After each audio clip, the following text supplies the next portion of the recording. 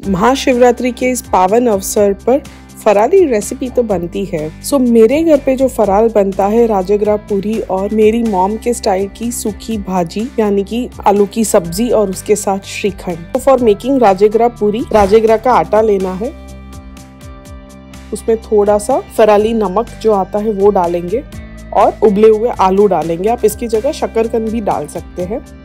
आलू या शकरकंद डालने से पूरी बहुत ही सॉफ्ट बनती है और ऊपर से क्रिस्पी बनती है। पानी डाल के अच्छा सा सॉफ्ट डो नीड कर लेना है।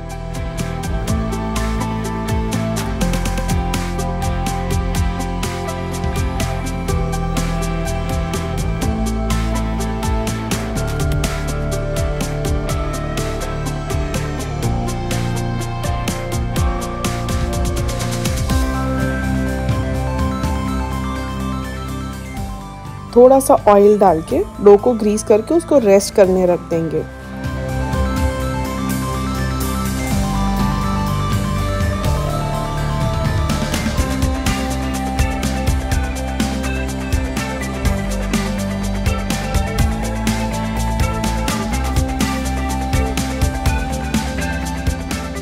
अभी आलू की भाजी बनाने के लिए एक कढ़ाई में ऑयल लेना है। उसमें थोड़ा सा साबुत जीरा डालेंगे। कड़ी पत्ता।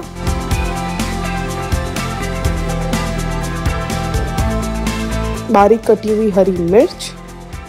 अदरक। अदरक आप चाहो तो अवॉइड भी कर सकते हो।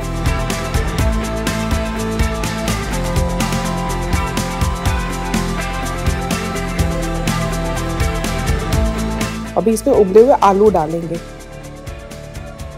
अभी डालेंगे इसमें रोस्ट की हुई मूंगफली, जिसको कोर्सली ग्राइंड कर लिया है, और फराली नमक स्वादानुसार। थोड़ी सी चीनी, यानी कि शक्कर।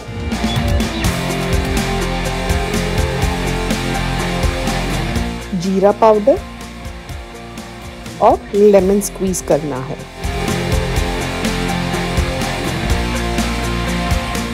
और फुल फ्लेम में ये भाजी को टॉस करना है। बहुत ही जल्दी बन जाती है भाजी।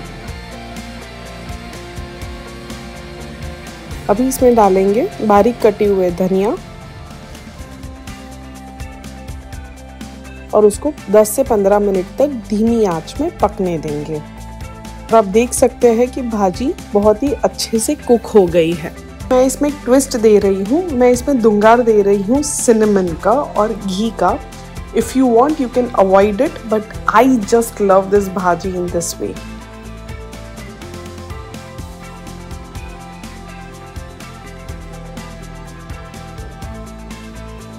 धुंगार देने के बाद ओ माय गॉड क्या स्वाद आता है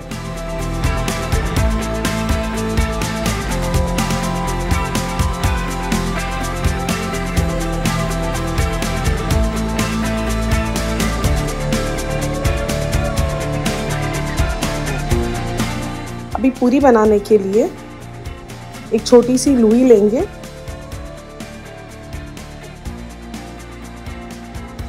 और अच्छे से पूरी को बेल लेंगे।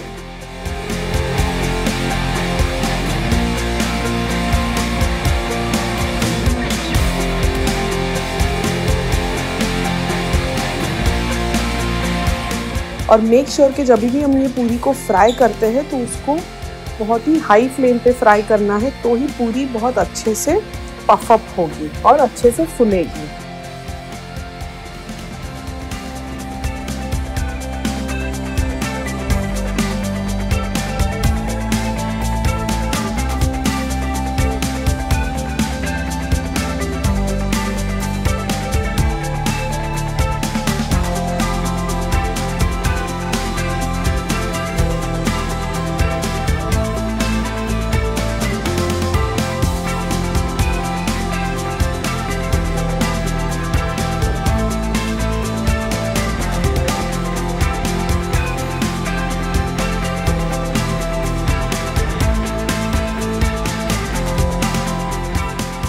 तो बस, मेरी पूरी भी तैयार है, आलू की भाजी तैयार है, जिसमें मैंने दुंगार दिया है, और मेरे घर पे ये श्रीखंड के साथ सॉफ होता है। तो अगर आपको श्रीखंड की रेसिपी देखनी है you have to watch out my next video